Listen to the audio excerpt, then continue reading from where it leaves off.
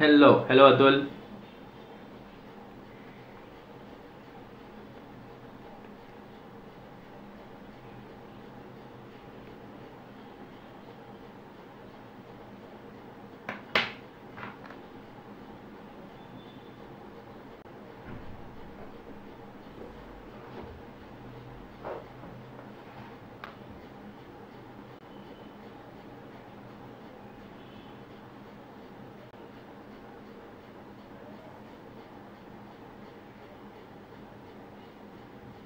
okay. So, hello everyone. Let us start. Now, this is the october का e bulletin ठीक है? अक्टूबर 21 का ई bulletin ये जो लेटेस्ट वाला ई बुलेटिन है, हम इसको स्टार्ट करते हैं अभी। इसमें वोकेबलरी वाला पार्ट जो है that is a part of your business communication so ma'am आपको ये पार्ट ले लेंगे। ऑब्वियसली इतना कुछ होगा नहीं। हम जाते हैं इंडियन एक्सपोर्ट सिनारियो और नेशनल सिंगल विंडो सिस्टम पे। ठीक है? सो so, ये message from president it's okay vocabulary का पार्ट में यहाँ पे दिया है that is also okay we are not going to go into that Indian export scenario पे अब जाते हैं हम लोग ठीक है India export scenario Since India opened its market in 1990-91, there has been a substantial rise in the country's foreign trade exposures. Foreign trade exposures मतलब exports. समझा यहाँ पे exports have increased more than 16 times and imports have more than 19 times. जब से हमने हमारे देश के दरवाजे लोगों के लिए ओपन किए हैं तो हम लोगों ने उनसे बहुत ज़्यादा गुड्स खरीदे हैं तो हमारे भी गुड्स उन्होंने खरीदे हैं। एक्सपोर्ट 16 टाइम्स बढ़ा है तो import 19 times in financial year 2021 India's import and export stood at this much and this much respectively अब ये लेटेस्ट फिगर है तो थोड़ा याद रखो। क्या बोल रहे हैं ना? इनका इंपोर्ट कितना था? 394.43 बिलियन डॉलर्स और एक्सपोर्ट कितना था? 291.80 billion dollars this is a negative balance of trade इसे बोला जाता है negative balance of payments balance of trade भी बोल सकते हैं नेगेटिव बैलेंस ऑफ़ पेमेंट भी बोल सकते हैं। समझा यहाँ पे? Negative balance of payment negative balance of trade या अनफेवरेबल भी बोल सकते हैं। Despite the global trade taking a nose dive दुनिया भर में बिजनेसेस मुँह पे गिर रहे हैं बिकॉज़ ऑफ़ कोविड 19 हमारा जो फॉरेन ट्रेड स्टेटिस्टिक्स है, आप अगर पढ़ोगे तो इट शोज़ ऑप्टिमिज्म हमारा फॉरेन ट्रेड बढ़ रहा है, समझा? और इकोनॉमिक डाउनटर्न्स के दौरान भी हमने एक्सपेंशनरी ट्रेंड एक्सपेंशनरी ट्रेंड्स देखे हैं। जब दुनिया भर की इकोनॉमी नीचे गिर रही थी, हमारी इकोनॉमी एक्सपेंड हो रही थी developing in certain sectors and destinations owing to unique market demand and supply chain disruptions मतलब क्या? अब क्या मालूम है क्या? इंडिया का क्या सीन हो गया? कि बहुत सारी कंट्रीज़ ने बहुत सारे रिस्ट्रिक्शंस डाल दिए अपने इंपोर्ट्स एक्सपोर्ट पे तो सप्लाई चेन डिसरप्ट हो गई। Demand and supply chain disrupt हो गई। इंडिया में हम जिन चीज़ों की डिमांड करते हैं, वो बाहर से अगर आ रही थी और अगर अचानक से बंद हो गई तो इंडियन बिजनेसेस ने मौका ढूंढा इसमें और यू नो सप्लाई चेन में पार्टिसिपेट पार्टिसिपेट कर लिया। समझा? जो कंट्रीज़ इंडियन बिजनेसेस को अलाउ कर रही थी, वहाँ पे हमने हमारे सप्लाई चालू कर दिया क्योंकि वो दूसरी जगह से अगर नहीं ले रहे थे। बहुत सारी कंट्रीज़ ने चाइना से माल लेना कम कर दिया था तो हम इंडिया से भेजने लग गए। सो सप्लाई चेन और डिमांड चेन डिसरप्ट हो चुकी थी, उसे हम लोगों ने क्या कर दिया? उसका फ़ायदा बहुत सारे बिजनेसेस ने उठाया। एक याद रखना, इसमें ये मत याद रखना कि, सर फिगर्स फिगर्स फिगर्स एक बार एग्ज़ाम के पहले देख ज़रूर लेना। समझा, यहाँ पे एक बार एग्ज़ाम के पहले देख ज़रूर लेना बट इतना ज़रूर याद रखो कि सबसे बड़ा एक्सपोर्ट हम करते हैं मिनरल फ्यूल का इंक्लूडिंग ऑयल एक शॉकिंग न्यूज़ है। समझा, हम मिनरल ऑयल एक्सपोर्ट करते हैं। समझा टोटल कितना? 26.9 out of the total that is 9.2 percent उसके बाद हम जेम्स और प्रेशियस मेटल्स प्लैटिनम वैटिनम ये एक्सपोर्ट करते हैं। फिर फार्मास्यूटिकल प्रोडक्ट्स जैसे मेडिसिन वेडिसिन फिर मैकेनिकल अप्लायंसेस मतलब मशीनें organic chemicals electric electric machines फिर व्हीकल्स व्हीकल्स हमारे सेवेंथ नंबर पे आता है, जो कि हमें सबसे बड़ा दिखता है। आयरन एंड स्टील बेटा आयरन एंड स्टील हम अच्छा खासा एक्सपोर्ट करते हैं। Cereals and plastic and plastic articles तो सबसे बड़ा एक्सपोर्ट हमारा क्या है? मिनरल फ्यूल्स समझा यहाँ पे? ठीक है? Next The uncertain global trade scenario because caused by the pandemic badly affected the global merchandise trade. Merchandise trade मतलब goods का trade. Merchandise का मतलब होता है goods. समझा तो पैंडेमिक की वजह से दुनिया भर में वाट लग गई और इंडिया ऐसा नहीं कि इंडिया को फ़र्क नहीं पड़ा इंडिया इससे इंसुलेटेड नहीं था एक्सपोर्ट हमारा जो था, वो 291.8 बिलियन था, जो कि 6.8 परसेंट कम है पिछले साल से बिकॉज़ ऑफ़ पैंडेमिक हमारा एक्सपोर्ट कम हुआ फॉरेन ट्रेड में भी 6.8 परसेंट का डिप आया समझा? A better performance is forecasted at 9.2 percent in October 2020 WTO ने बोला कि भैया डरो मत अक्टूबर 2020 ये जो महीना कल खत्म हो रहा है, इस पे हम लोग एक्सपेक्ट कर रहे हैं कि 9.2 परसेंट तक हमारा फॉरेन ट्रेड चला जाए, जो कि फ़िलहाल 6.8 परसेंट पे है। Among the top exported item सबसे ऊपर है मिनरल फ्यूल्स फिर जेम्स एंड प्रेशियस स्टोन्स ये सबसे ज़्यादा एक्सपोर्टेड है कंबाइंड दोनों मिला के ऑलमोस्ट वन फिफ्थ हो गए। 18 परसेंट इज़ अप्रोक्सीमेटली 20 परसेंट मतलब हर पाँच में से एक आइटम ये है। यार, पाँच डॉलर का अगर आइटम हमने एक्सपोर्ट किया तो उसमें से एक डॉलर का आइटम यही था। The year 2021 also has predictively witnessed a surge in the performance of pharmaceutical industry natural है बच्चों। 21 जो है, उसमें अच्छा अक्टूबर 2020 दिया, ये पिछले साल का था सॉरी हम्म। बच्चों 2021 में हम एक्सपेक्ट कर रहे हैं कि फार्मास्यूटिकल की एक्सपोर्ट्स में ग्रोथ होगी, क्योंकि इंडिया में जो वैक्सीन बन रहे हैं, वो बाहर जा रहे हैं। इसके अलावा इंडिया की बहुत सारी फार्मास्यूटिकल्स की एक्सपोर्ट्स बढ़ रही है, बहुत सारी medicine whose production accounted for the third most exported category in the financial year. इस साल फार्मेसी ने या फार्मास्यूटिकल प्रोडक्ट्स ने अच्छा बूस्ट या अच्छा बूम दिखाया। ये दिस इज़ ऑल 2021 यस ये अक्टूबर 2020 है। मैंने गलती से इसको 21 दिमाग में आ गया मेरे। समझा? पिछले साल का एक्सपेक्टेड था कि 9.2 तक चला जाए। Since last year India pharmaceutical industry has benefited from new investment flows बहुत सारी कंपनीज़ ने फार्मा में इन्वेस्ट किया, बहुत सारे स्टॉक मार्केट में बहुत सारे इन्वेस्टर्स ने फार्मा कंपनीज़ में इन्वेस्ट किया प्लस वैक्सीन प्रोडक्शन में बहुत सारी फॉरेन कंपनीज़ ने इंडियन फार्मास्यूटिकल कंपनीज़ के साथ वैक्सीन प्रोडक्शन के लिए टाइप किया। जैसे हमारे पास अभी कौन सी वैक्सीन चल रही है बच्चों? कोविशील्ड हमारे पास चल रही है कोविशील्ड बट क्या वो इंडिया में डेवलप्ड है या फॉरेनर्स ने डेवलप करके हमारे सीरम इंस्टीट्यूट ऑफ़ इंडिया को as Serum Institute of India यही पुणे में है। इन्होंने खुद डेवलप किया है या बाहर वालों ने इनके साथ पार्टनरशिप की है कि डेवलप हम कर, कर, रहे हैं बट प्रोडक्शन आप करो। क्या लगता है आपको? पढ़ा क्या आपने सीरम के बारे में? ठीक है तो पार्टनरशिप कर रहे हैं वैक्सीन प्रोडक्शन के लिए। फॉरेनर्स आके वैक्सीन प्रोडक्शन इंडिया से करवा के ले रहे हैं। बायोटेक्नोलॉजी के लिए इंडिया में आ रहे हैं। सर बायोटेक्नोलॉजी मतलब बहुत सारी चीज़ें आती है बायोटेक्नोलॉजी में। हाइब्रिड सीड्स आते हैं बायोटेक्नोलॉजी में। ठीक है मॉडिफाइड फूड्स मॉडिफाइड जीन्स बहुत सारी चीज़ें। एंड मैन्युफैक्चरिंग इंसेंटिव क्योंकि इंडिया में अगर आप गुड्स बनाते हो, ये वाले फार्मास्यूटिकल गुड्स बनाने के लिए इंडिया में बहुत इंसेंटिव मिलता है। गवर्नमेंट बहुत स्कीम्स देती है। समझा? ठीक है, इसके अलावा ऑर्गेनिक डिमांड मतलब नेचुरल ग्रोथ तो है ही। पॉपुलेशन बढ़ रहा है तो मेडिसिन की ज़रूरत नेचुरली बढ़ते जा रही है। Imports during financial year 2021 on the other hand saw decline of more than 16 percent हालाँकि हमारा एक्सपोर्ट हार्डली 3 परसेंट से कम हुआ बट इंपोर्ट हमारा 16 परसेंट से कम हुआ this is a good thing import हमारा 394 बिलियन पे है, और इंपोर्ट में भी सबसे ज़्यादा हम वही इंपोर्ट करते हैं जो हम एक्सपोर्ट करते हैं। दिस इज़ इंटरेस्टिंग हम सबसे ज़्यादा एक्सपोर्ट करते हैं मिनरल ऑयल और जेम्स हम सबसे ज़्यादा इंपोर्ट वही करते हैं mineral fuels precious stones and metals समझा? बेटा मिनरल ऑयल लाते हैं इंडिया में रिफाइन करके फिर बेचते हैं। With an increase demand for animal and vegetable fats ठीक है। ये सब इंपॉर्टेंट था इसमें से कुछ चीज़ें जो इंपॉर्टेंट थी वो देख ली हम लोगों ने।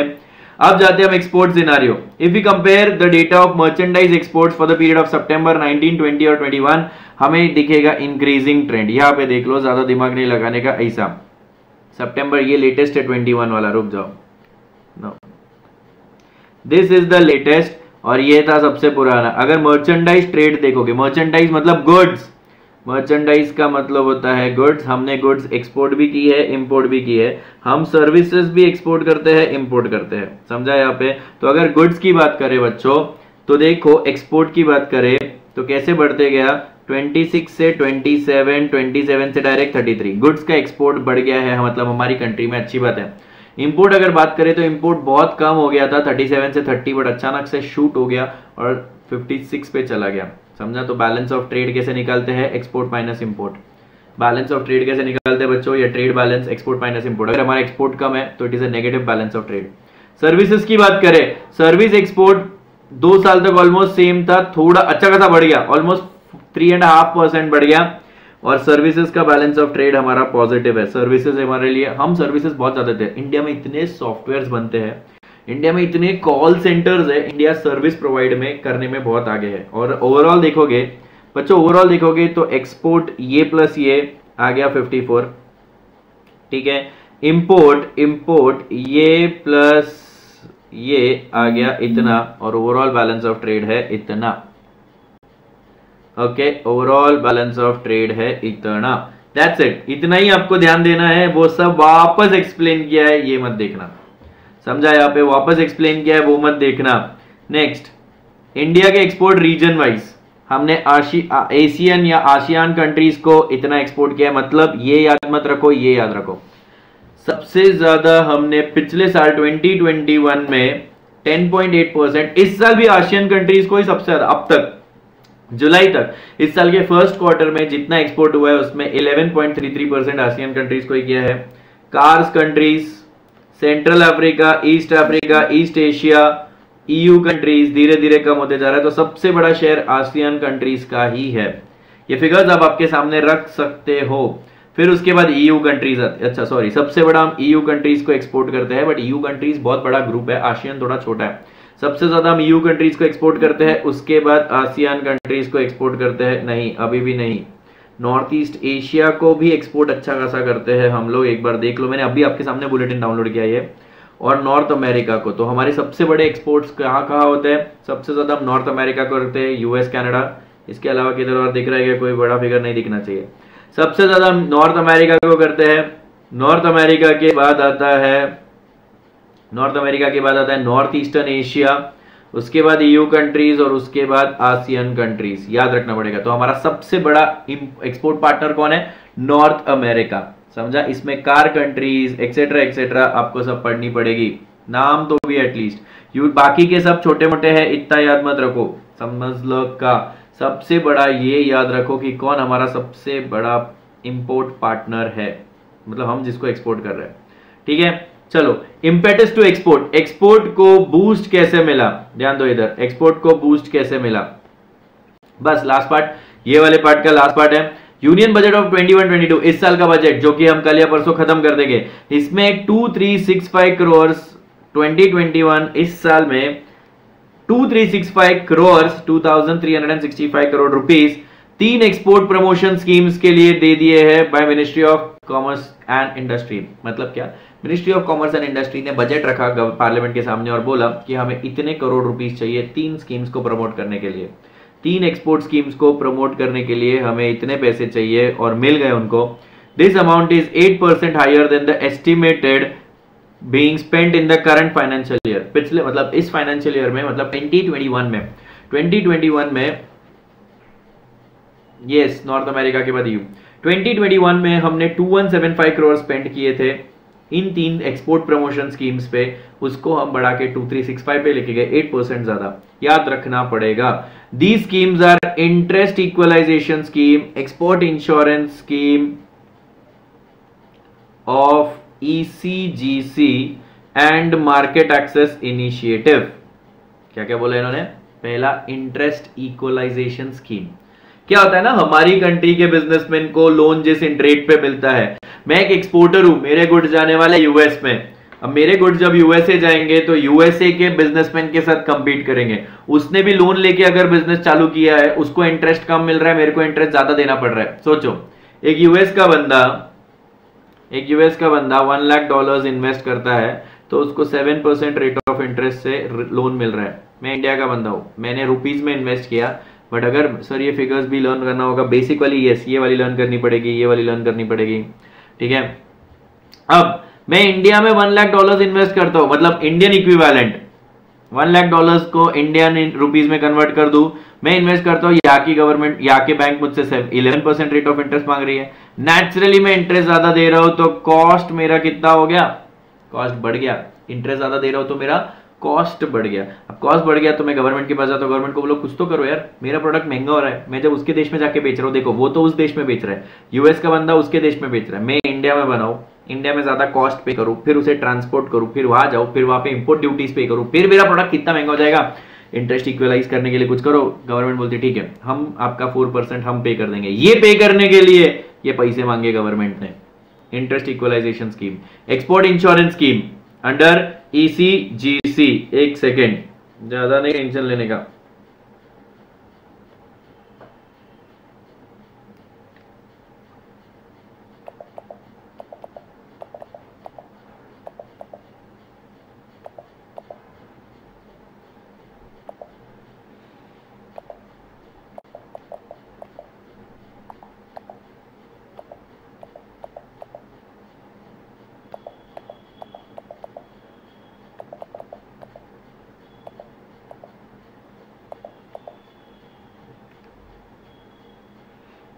ECGC export credit guarantee corporation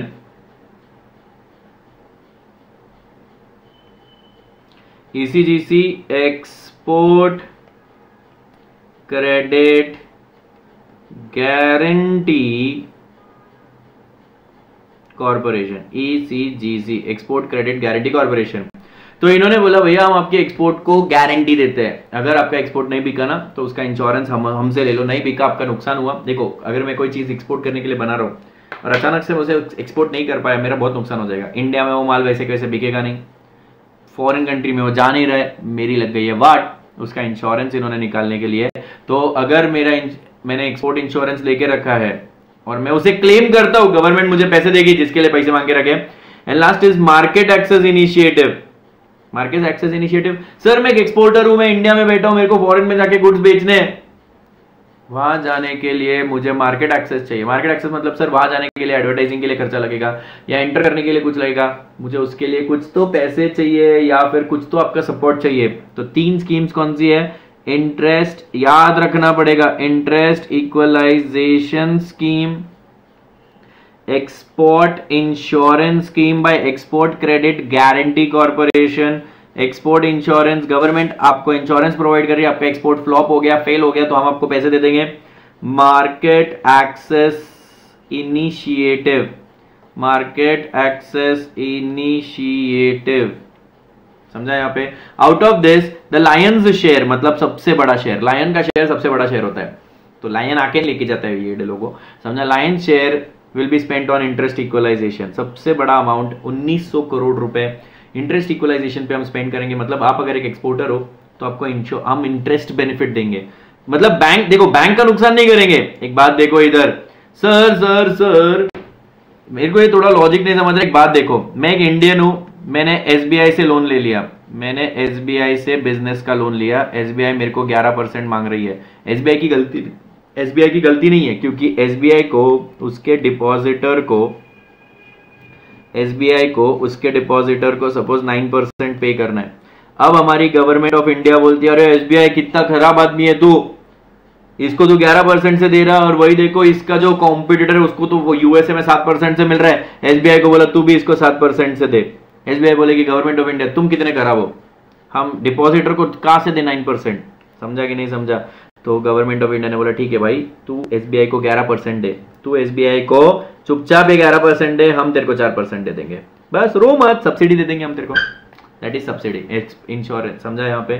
तो 1900 करोड़ इंटरेस्ट के लिए ही रखे हैं under which government provides subsidy on pre and post shipment rupee export credit at the rate of three percent of the labour incentive और एमएसएमई सेक्टर्स मतलब क्या आपको सब्सिडी मिलेगी? कितनी मिलेगी? Pre and post shipment rupee credit आपने जो भी लोन लिया है रुपी क्रेडिट इंडियन रुपीज़ में जो भी एक्सपोर्ट करने के लिए आपने लोन लिया है, सोचो इंडियन रुपीज़ में आपने जितना भी लोन लिया है, उसमें आपको तीन परसेंट तक का इंटरेस्ट हम लोग देंगे। अब आपको, देखो, इसमें भी लॉजिक है। सर गवर्नमेंट ने तीन परसेंट क्यों बोला सिर्फ़? बेटा गवर्नमेंट ने तीन परसेंट इसलिए बोला क्योंकि गवर्नमेंट जाके सच में चेक नहीं करने वाली है। इसको सात परसेंट से मिला या आठ परसेंट से मिला या छह ही परसेंट से मिला। मैं मैं मैं मैं एक एक्सपोर्टर हूँ। मैं एक्सपोर्टर हूँ, मैं गवर्नमेंट को जाके बोलूँगा, देखो गवर्नमेंट मेरे को ग्यारह परसेंट से मिला, इसको तो फाइव परसेंट से मिला यूएसए में। दो मेरे को छह परसेंट गवर्नमेंट बोलेगी, अरे वेरी गुड ले ले छह परसेंट। अरे गवर्नमेंट का नुकसान हो जाएगा ना। गवर्नमेंट के एक एक को जाके चेक करते बैठेगी क्या कि यूएस में आपके कॉम्प्यूटर को सात परसेंट से मिला, आठ परसेंट से मिला, छह परसेंट से मिला। गवर्नमेंट ने बोला, देख भाई जनरली हम लोगों को पता है कि फॉरेन गवर्नमेंट कितना बेनिफिट दे सकती है। हम अगर 11 इंडिया में 11 परसेंट चार्ज कर रहे हैं तो वो लोग कितना चार्ज कर रहे हैं? तो हम आपको maximum 3 percent of labour incentive और MSME sector since November 2018 the rate was increase to 5 percent for MSME sector and 2019 से ये मर्चेंट एक्सपोर्टर्स को भी बेनिफिट मिलने लगा। तो पहले सिर्फ़ एमएसएमई को मिलता था ये बेनिफिट या लेबर इंटेंसिव एमएसएमई को सॉरी किसको बेनिफिट मिलता था? यहाँ पे लिखा है, ये भी याद रखो, किसको ये पहले बेनिफिट मिलता था? लेबर इंटेंसिव एमएसएमईज मतलब मेरा एक माइक्रो स्मॉल मीडियम एंटरप्राइज मेरा एक छोटा बिज़नेस है, जिसमें मेरे पास मशीन्स कम है। मशीन्स बहुत कम है और मैक्सिमम मेरा लेबर ही काम करता है। समझा? लेबर इंटेंसिव एमएसएमईज को या सॉरी लेबर इंटेंसिव बिजनेसेस को या एमएसएमईज को थ्री परसेंट तक का सब्सिडी मिल जाएगा इंटरेस्ट में। जितना भी आप इंटरेस्ट भर रहे हो, उसमें थ्री परसेंट तक का दे देंगे। बाद में एमएसएमईज के लिए ये फाइव परसेंट कर दिया गया और उन्होंने बोला, अगर आप एक मर्चेंट एक्सपोर्टर हो, आपका काम ही है इंडिया से खरीदो, बाहर बेचो। इंडिया में बना नहीं रहे हो आप। एक मर्चेंट हो बाइंग और सेलिंग का काम करते हो, आप इंडिया से बाई करते हो फॉरेन में बेचते हो, आपको भी ले देंगे हम लोग थ्री परसेंट का सब्सिडी समझा? ठीक है? The amount of the fund spent under interest equalisation has reduce progressively 1920 में 2890 करोड़ था, ठीक है? उसमें 2021 में 1600 करोड़ हो गया। तो जो 1900 करोड़ मिल रहा है, वो एक्चुअली अच्छी बात है। देखो, हमारी गवर्नमेंट इस इंटरेस्ट का सब्सिडी को धीरे धीरे कम कर रही थी। 1920 में 2890 करोड़ था, वो डायरेक्ट 1600 करोड़ पे ले गया। बट हमारी गवर्नमेंट को दिखा कि नहीं नहीं, इतना कम करना अच्छी बात नहीं है। अगले साल के लिए हमारी गवर्नमेंट ने 1900 करोड़ अलॉट कर दिए। For the year 21-22 the government ने क्या एलोकेट किया है? 260 crore towards investment in ECGC तो वंस अगेन इस साल कितना है बच्चों? इस साल इस साल, ये अमाउंट याद रखो 2365 इस साल 2365 है उसमें से 1900 किसके लिए है? First scheme interest equalisation scheme याद रखना पड़ेगा interest equalisation scheme second amount second amount कितनी बोली है? टू हंड्रेड एंड अरे मेरे भाई, ऐसा मत कर। Two hundred and sixty crore for what two hundred and crore for investment in ECGC ECGC मतलब ईसीजीसी e यहाँ पे आपको क्या मिल रहा था? आपका एक्सपोर्ट इंश्योरेंस तो अगर एक्सपोर्ट करते वक्त आपका कुछ लॉस हो गया तो इंश्योरेंस आपको दी रही है। उसके लिए 260 करोड़ गवर्नमेंट ने ये क्या देता है? देखो, ये आपको इंश्योरेंस कवर देता है। 260 crore insurance cover against the proceed sir non realisation proceed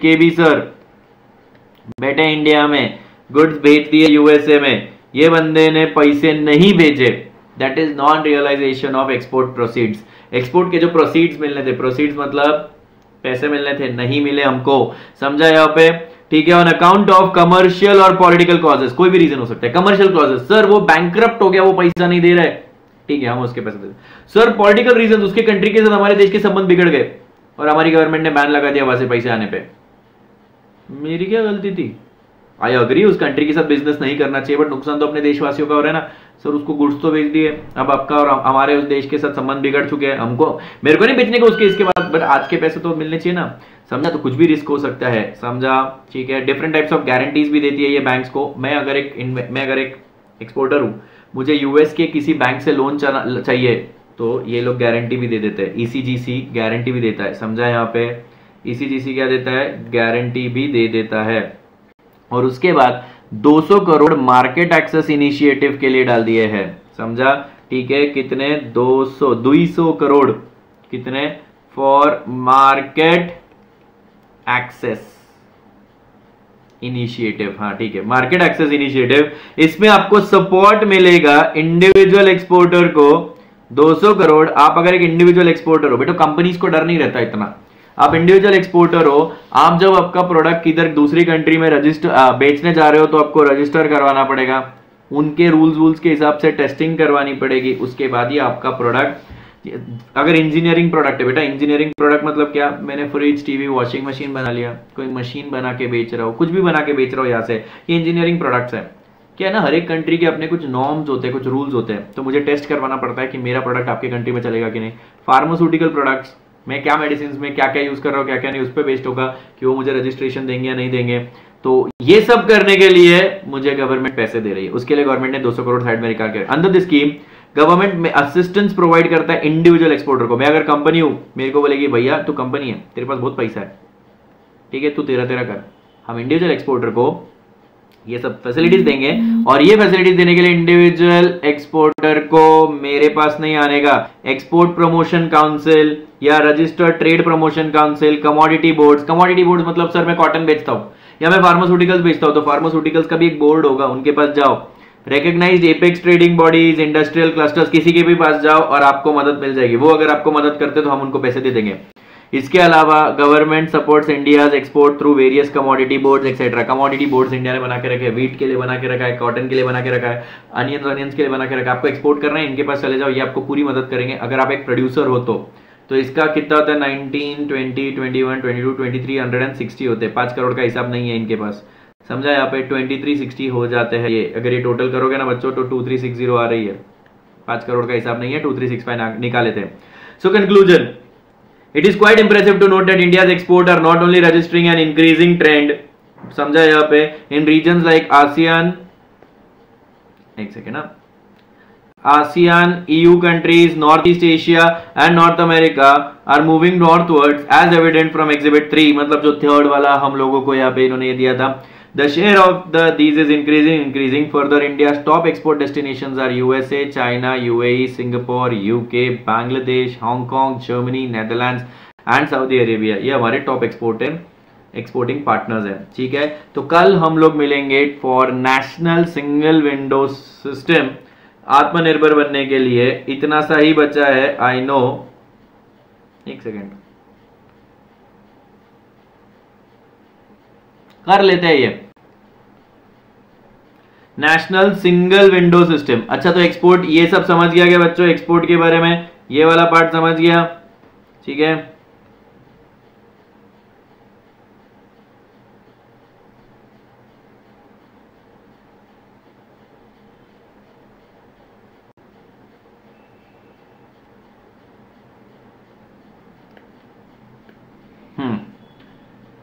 okay okay, ये खत्म करते हैं हम लोग कल नहीं जाएँगे हम लोग। मैं चाहता हूँ कि थोड़ा एक्स्ट्रा ले लू दो तीन दिन से मेरा नेशनल सिंगल विंडो सिस्टम बहुत सिंपल है। द कंटिन्यूस थोड़ा सा पढ़ लेते हैं। मैंने आपके सामने ओपन किया एक बार पढ़ लेते the continuous improvement of India business climate is one of the key focus areas of the government India government of India किस पे फोकस कर रही है? कि इंडिया का बिज़नेस क्लाइमेट इंप्रूव हो। बिजनेसमैन इंडिया की तरफ़ अट्रैक्ट हो। बिजनेसमैन इंडिया को आके बोले कि यार बेस्ट जगह दिया आपने। बिज़नेस करना हो ना तो यहाँ पे करो। गुड्स बनाने के लिए ये जगह अच्छी है, बेचने के लिए अच्छी है। आप हमें काफ़ी ज़्यादा बेनिफिट दे रहे हो। ठीक है? तो reiterating its commitment to make in India Modi ji पूरी दुनिया में घूम घूम के बोल के गए मेक इन इंडिया हमारे देश में आके बनाओ। मोदी जी ने क्या बोला? हमारे देश में आके बनाओ।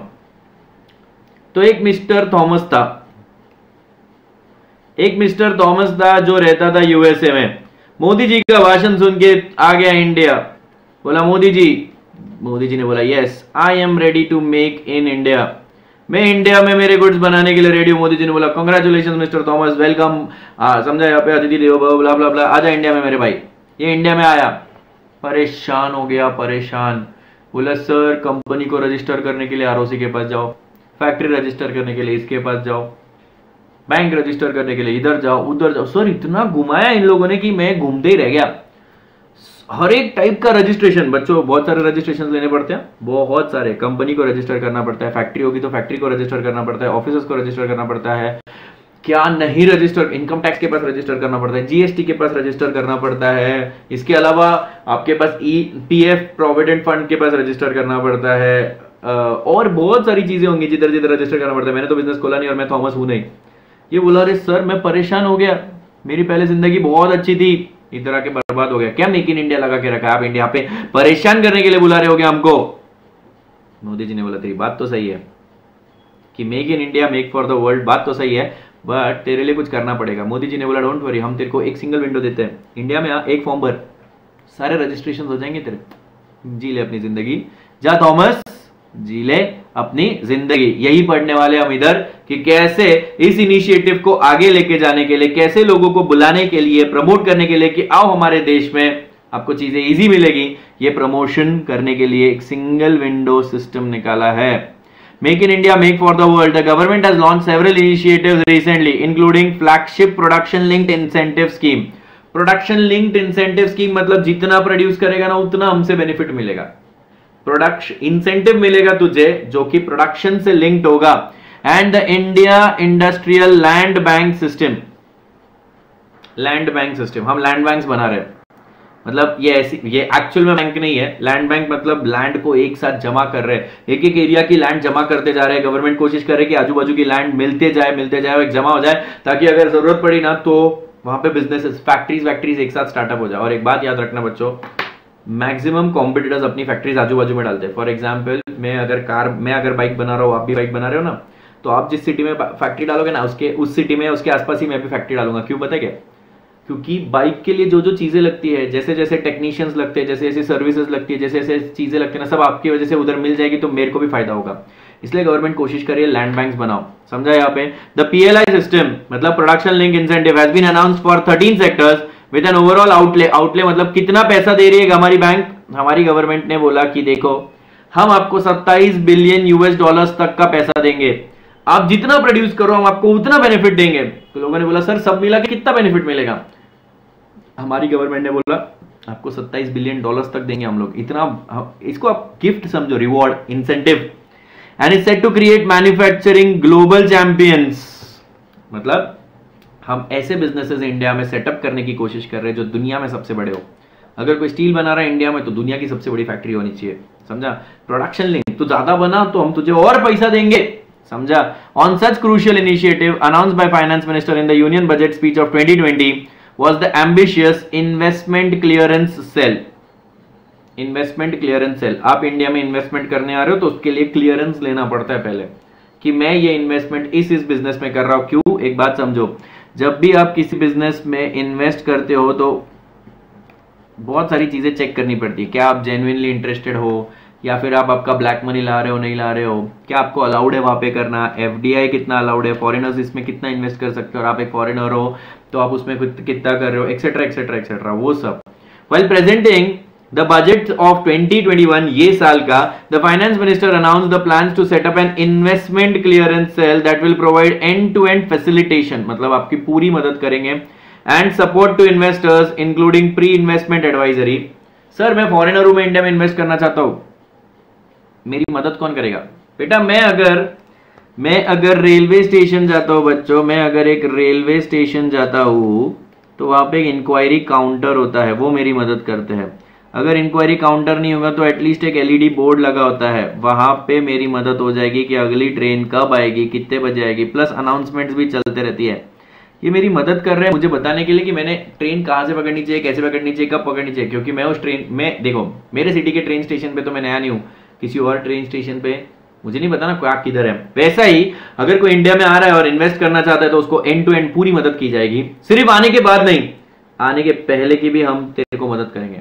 तेरे को एडवाइस करेंगे, तूने इन्वेस्ट करना चाहिए, नहीं करना चाहिए इंडिया में। हम नहीं चाहते कि सिर्फ़ पैसा लेके पैसा लेके पैसा लेके provide information related to land bank उसको लैंड बैंक की इन्फॉर्मेशन दो। तेरे को इंडिया में आना है। देख, आने के पहले तूने क्या क्या सोचना चाहिए, कितना खर्चा लगता है, तेरे देश में इंटरेस्ट इतना लगता होगा, हमारे देश में इतना लगता है, तेरे देश में इस चीज़ की इतनी डिमांड होगी। मतलब बहुत सारी चीज़ें उसको समझाई जाती है। फिर उसको लैंड बैंक की इन्फॉर्मेशन दी जाती है। हमारे पास इधर इधर इधर इधर लैंड है। गवर्नमेंट की लैंड है गवर्नमेंट ने लेके रखे समझा यहाँ पे? ठीक है? Next facilitate clearance at central and state level plus तेरी इन्वेस्टमेंट को हम सब जगह से क्लियरेंस दिलवा देंगे। मतलब ऐसा नहीं कि गलत होंगी तो। बेटा, ये रिश्वत वाले काम नहीं कर रहे। ये बोल रहे, देख, तू इंडिया में इन्वेस्ट करेगा तो तेरे को सेंट्रल गवर्नमेंट से परमिशन लेनी पड़ेगी। हम जाएँगे, उनको, हम तेरी पूरी हेल्प करेंगे परमिशन लेने में। हेल्प करेंगे पर अगर तू गलत काम कर रहा है तो तेरे को हम थोड़ी ना इन्वेस्टमेंट में, तब थोड़ी ना हम तेरे को क्लियरेंस दिलवा देंगे। क्लियरेंस लेने में तेरी मदद करेंगे। The cell was plan as a one stop digital platform to obtain all required clearances approvals to start business in India समझा? मैंने एक लाइन में समझा दिया था ऊपर कि अगर वो थॉमस आ रहा है और इतने सारे उसको क्लियरेंसेस चाहिए पोल्यूशन बोर्ड से कंपनी से सेबी से, इससे, उससे, दुनिया भर से क्लियरेंसेस चाहिए एक जगह पे इन्वेस्टमेंट क्लियरेंस सेल के पास जाओ। तुम उनके पास जाओ, उनको तुम्हारा प्रोजेक्ट बताओ। वो तुमको एडवाइस करेंगे इन्वेस्ट करने के पहले क्या करना चाहिए इन्वेस्टमेंट के बाद किधर किधर जाना चाहिए। सारा एक जगह से हो जाएगा डिजिटल है। घूमने मत जा ये ऑफ़िस पे जा वो ऑफ़िस ना, सब डिजिटली हम तेरे को करवा देंगे। जितने क्लियरेंसेस चाहिए सेंट्रल गवर्नमेंट के बोल स्टेट गवर्नमेंट के बोल जो जो अप्रूवल चाहिए, कैसे लेने चाहिए, कौन से कौन से फॉर्म्स भरने चाहिए कितने पैसे सब हम समझा देंगे the purpose of investment clearance cell a national portal portal मतलब एक वेबसाइट है बच्चों is to inter integrate the existing clearance system of various ministries departments of government of india and state government without disruption of the existing it portals of ministries etc मतलब इन्होंने क्या बोला बताया क्या देखो सिंपल सी चीज़ बताता हूँ एकदम सिंपल सी चीज़ ठीक है एकदम एकदम सिंपल ये है मिनिस्ट्री ऑफ़ कॉरपोरेट अफेयर्स और ये चलाते हैं वेबसाइट कंपनीज़ के लिए हम्म सेबी अपना अलग वेबसाइट चलाता है। फैक्ट्रीज वाले अपना अलग वेबसाइट, फैक्ट्रीज एक्ट वाले अपना अलग वेबसाइट चलाते हैं। जीएसटी वाले अपना अलग वेबसाइट चलाते हैं, ठीक है? अब थॉमस को इनके इनके वेबसाइट पे रजिस्ट्रेशन, इनके वेबसाइट पे रजिस्ट्रेशन, इनके वेबसाइट पे रजिस्ट्रेशन, इनके वेबसाइट पे रजिस्ट्रेशन, सबके वेबसाइट पे रजिस्ट्रेशन क्लियरेंस सब कुछ लेना पड़ेगा। तो इन वेबसाइट्स को हम, ऐसा नहीं बोल रहे कि आप सब आप सब थॉमस को, अब देखो, हमने एक अलग ही वेबसाइट बना दी, अब हमने क्या किया? हमने एक सिंगल पोर्टल बना दिया, जिसका नाम क्या था? एक सिंगल पोर्टल बना दिया, जिसका नाम क्या था? इन्वेस्टमेंट क्लियरेंस सेल ये एक वेबसाइट है। हमने उसको बोला, भाई, तेरे को अगर तेरा बिज़नेस रजिस्टर करना है ना, एक वेबसाइट पे जा, तेरे को सब मिल जाएगा। इसका मतलब यहाँ पे तू रजिस्टर नहीं कर सकता है। ये वेबसाइट तेरे को, तू अगर बोलते हैं, मेरे को कंपनी रजिस्टर करनी है, ये वेबसाइट तेरे को बराबर इधर लेके चली जाएगी। इस वेबसाइट के थ्रू तू इधर काम कर सकता है, इस वेबसाइट के थ्रू इधर का इधर का इधर का। मतलब इनके वेबसाइट चलते रहेंगे, इनको हम डिस्टर्ब नहीं कर रहे, वरना वो मिनिस्टर्स नाराज़ हो जाएँगे। सर हमारा क्यों सारा काम इकट्ठा कर लिया? समझा यहाँ पे, ठीक है? तो उनकी वेबसाइट्स को डिस्टर्ब नहीं करते, उनकी वेबसाइट्स को एक साथ नहीं बट आपको एक सिंगल वेबसाइट देंगे, जिसके थ्रू आपको सभी दरवाजे मिल जाएँगे।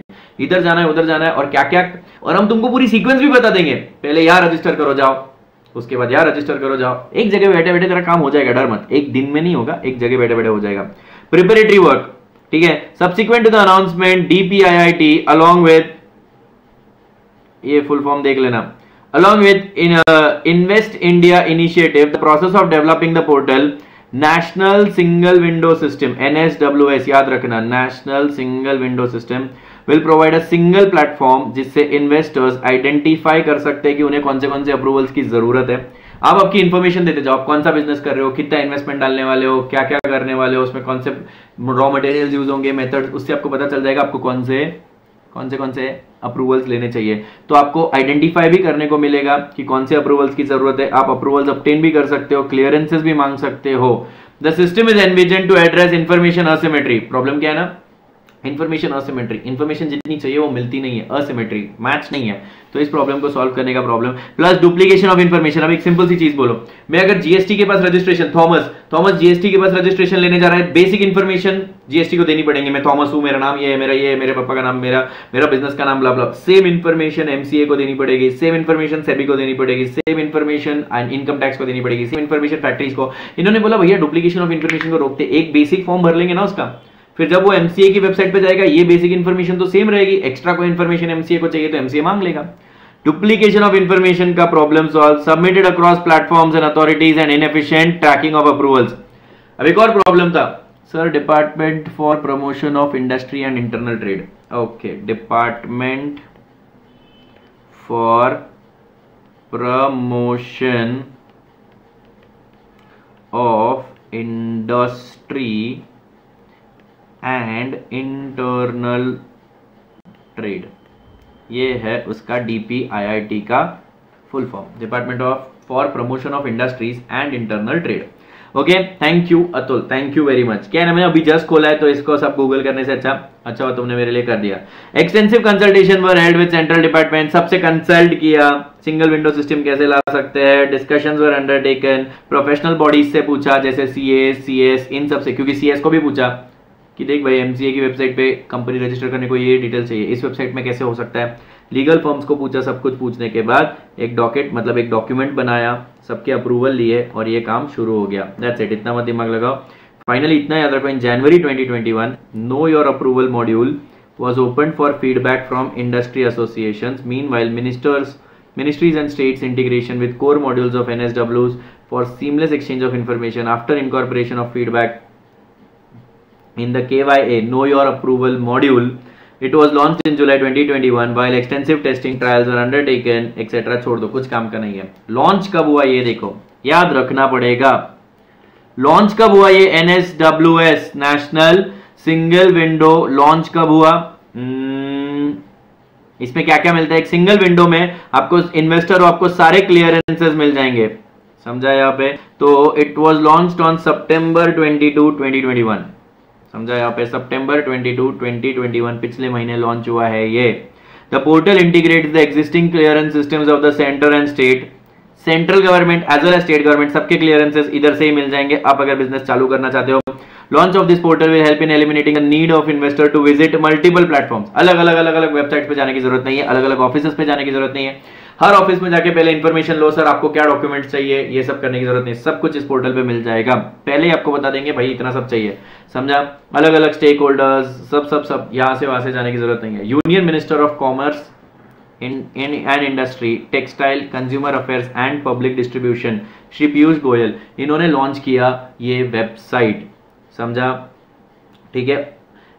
Inform that N S W S will assure in आज़ादी from legacy of running to government legacy of running to government मतलब अपने पास ये चला आ रहा है सर कुछ भी काम रहा कि भागो गवर्नमेंट के पास, इससे तुम्हें आज़ादी मिल जाएँगी। Office for approval and registration ease of doing business and ease of living आज़ादी from paper work duplication and information asymmetry etcetera etcetera समझा? The single window portal is a one stop shop एक जगह पे investor को सारे approvals मिल जाएँगे, जिसके साथ नो योर अप्रूवल वाली सर्विसेज़ भी दे रही है। क्या? नो योर अप्रूवल मतलब an intelligent information visit that generates a list of approvals required by a business to commence operations क्या चाहिए मुझे? नो योर अप्रूवल मतलब? आप इस विज़िट विज़िट मतलब बच्चों, आजकल बहुत सारी वेबसाइट्स को आप ओपन करते हो एक पॉपअप आता है कि मुझे पूछो, मैं आपको बता दूँगा। ये एक कंप्यूटर होता है जो आपसे बात कर रहा है। तो क्या जो है ना, क्या? क्या ये आपको इस वेबसाइट पे मिल जाएगा? कौन सी एनएसडब्ल्यूएस के वेबसाइट पे मिल जाएगा? जैसे आप उस वेबसाइट पे जाओगे, आप आपके बिज़नेस की डिटेल्स डाल दो। क्या करते हो, क्या नहीं करते हो, वो आपको बता देगा आपको क्या क्या लगेगा, कौन से कौन से अप्रूवल्स लगेंगे आपको, वो यहाँ पे बता देगा। It does so by asking sir इसको कैसे पता मुझे कैसे, कौन से अप्रूवल लगेंगे? वो आपको सवाल पूछेगा। आपके प्लान बिज़नेस एक्टिविटीज़ का, और फिर उससे आप, उसको पता चल जाएगा। जैसे आप अगर एक बिज़नेस चालू करना चाहते हो मैन्युफैक्चरिंग का केमिकल मैन्युफैक्चरिंग का बिज़नेस चालू करना चाहते हो तो किस मिनिस्टर से, किस किस डिपार्टमेंट से परमिशन लेनी पड़ेगी? उसको जीएसटी एप्लीकेबल है होगा तो वो आपको ये भी बता देगा। वो बता देगा जीएसटी एप्लीकेबल है, तेरे को जीएसटी का भी रजिस्ट्रेशन लेना पड़ेगा। तेरे को ये वाला केमिकल है जो कि हार्मफुल है तो केमिकल इसके पास जाना पड़ेगा, उसके सब कुछ बता देगा। क्वेश्चन काफ़ी सिंपल है, वो आपको बेसिक चीज़ें पूछेगा, क्या आपके प्रोडक्ट में ऐसा है, क्या आपके प्रोडक्ट में वैसा है? क्या आप दस एम्प्लॉयज़ को अपॉइंट करने वाले करने का प्लान कर रहे हो, या बीस एम्प्लॉयज़ को, या पचास एम्प्लॉयज़ को? अगर दस से कम कर रहे हो तो पीएफ का रजिस्ट्रेशन मत लो, दस से ज़्यादा का कर रहे हो तो पीएफ का लेना पड़ेगा एक्सेट्रा एक्सेट्रा एक्सेट्रा ठीक है? Has a complex automated logic इसके अंदर एक खुद एक लॉजिक बिल्ट बिल्टेड है बिल्ट इन है, जिसके ऐसे वो आपके सवालों के जवाब सुन के आपको एक एक एक एक सजेस्ट कर दे जाए उसको बता के रखा है। अगर इसके पास 11 से ज़्यादा होंगे तो इसको इन्फॉर्म कर दे। इसको इसका रजिस्ट्रेशन पीएफ का रजिस्ट्रेशन लेना पड़ेगा। अगर ये ये वाला प्रोडक्ट बना रहा है तो फैक्ट्रीज का रजिस्ट्रेशन लेना पड़ेगा। अगर ये वाली चीज़, ये वाले एरिया में जा रहा है तो इसका रजिस्ट्रेशन लेना पड़ेगा। ये स्टेट का ये रजिस्ट्रेशन लेना पड़ेगा। वो स्टेट का वो रजिस्ट्रेशन लेना पड़ेगा। जीएसटी का सब कुछ सब कुछ उसको बता देगा क्या। समझा यहाँ पे? एक और important cheese.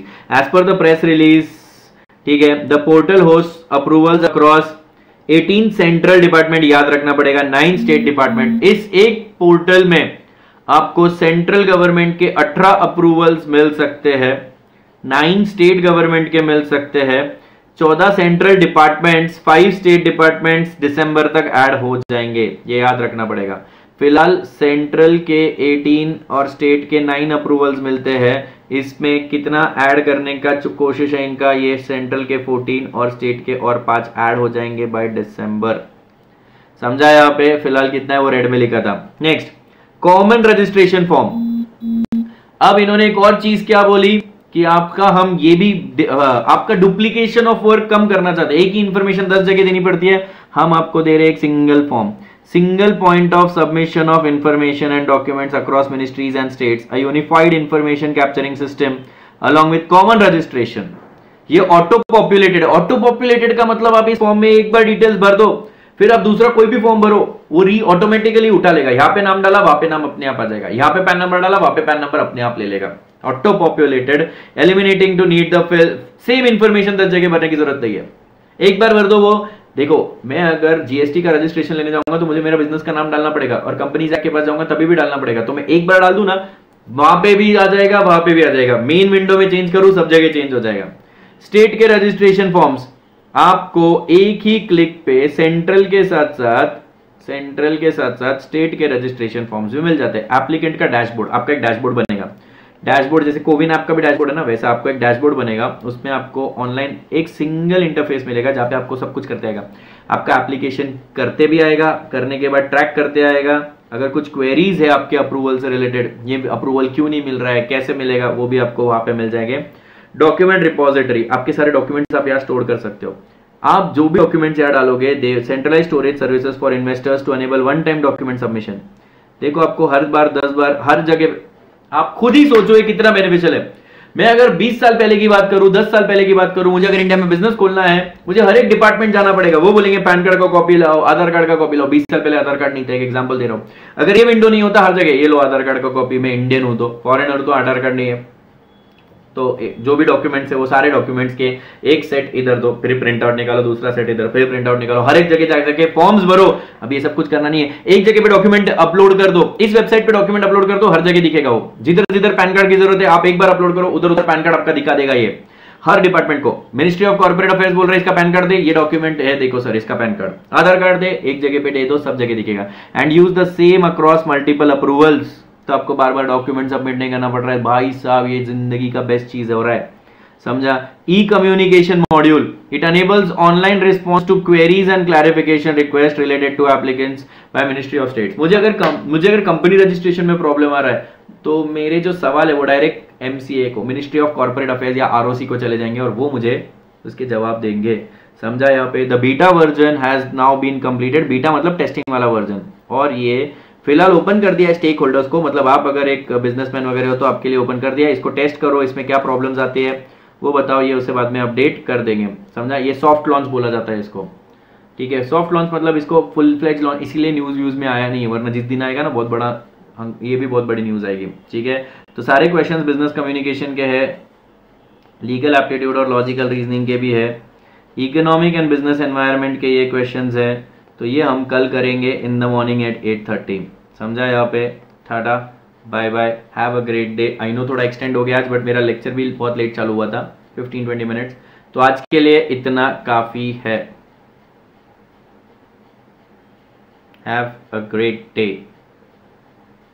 tomorrow morning 8:30 we are meeting for economics okay bye bye बच्चों.